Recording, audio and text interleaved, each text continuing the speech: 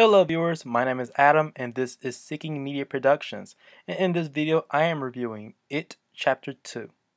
This is the first major blockbuster in the fall 2019 season and a lot of people are wondering just how does It Chapter 2 ends um, at least how well the response is. Because going into this, a lot of reviews already know, knowing, especially based on Rotten Tomatoes, that this film is getting some mixed responses, which is not really surprising since the, both the novel and the second miniseries, uh, the second part of the miniseries back in the 90s, um, the second half is very underwhelming, especially since how well regarded the first part of it of 2017 compares to the original miniseries. To discuss this further, let's begin with the story. It Chapter 2 takes place 27 years after the events of the first film, where the Losers Club journeys back to Derry, Maine to defeat Pennywise once for all. Throughout its nearly three hour runtime, the movie deals with the three act structure of the gang coming back together, finding they're going their separate ways in which they gather uh, gather things and know about uh, how to defeat Pennywise, and then the final act is the final confrontation. Throughout this film, we get a series of multiple scary sequences and um, and also flashbacks of the past younger selves of the Losers Club. What I find troublesome is how repetitive a lot of this material is, especially with um, so much of the content being stripped down to a very bare minimum plot. I'm not even trying to um, make comparisons from the novel as adapted from, and also the 1990 miniseries of the same name, but there throughout this runtime, it barely utilizes anything that's dive deep into what really makes it terrifying. Like so much of the film loses its context behind the horror uh, especially with even though there's some grisly images and um, haunting imagery. There's there's not really much to go on from here. So much of the film is basically more of the same of what you saw in the first part back in 2017. Something which um, may be entertained for some, but there is a time which, like, really, they needed to do something different here. And going to compare from the novel, there is so much from there that it could have easily been used in this film as well. And from there, I'll discuss it much more further with the characters. So now, to be fair, the actors in this film does a good job of conveying the personalities of a much more mature group of Loser Club gang. Easily standouts is Bill Hader among the group, who's portraying the much older Richie Tozier.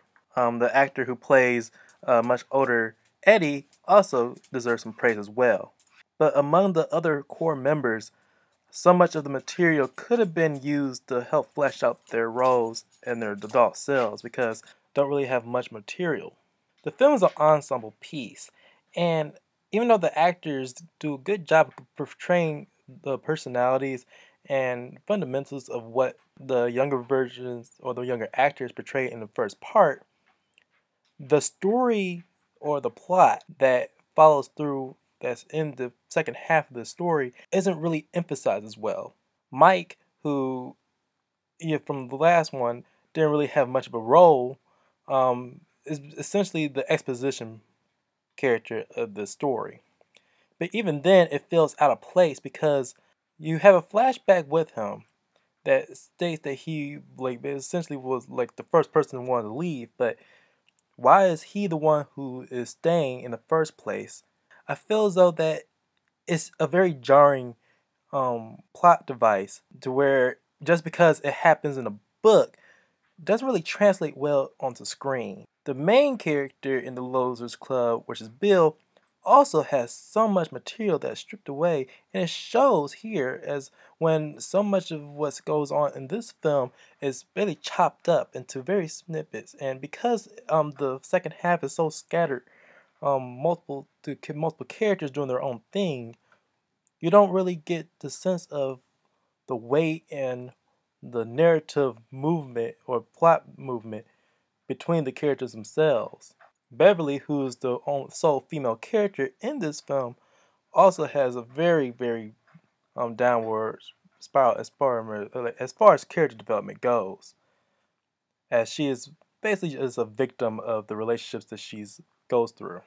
But the main elephant in the room about characters is Pennywise himself. There should have been so much material that goes from here, especially since it should have had its own voice. Like we needed to see his perspective of things, and we needed to know the reasons why he he utilizes fear to consume his victims in the first place.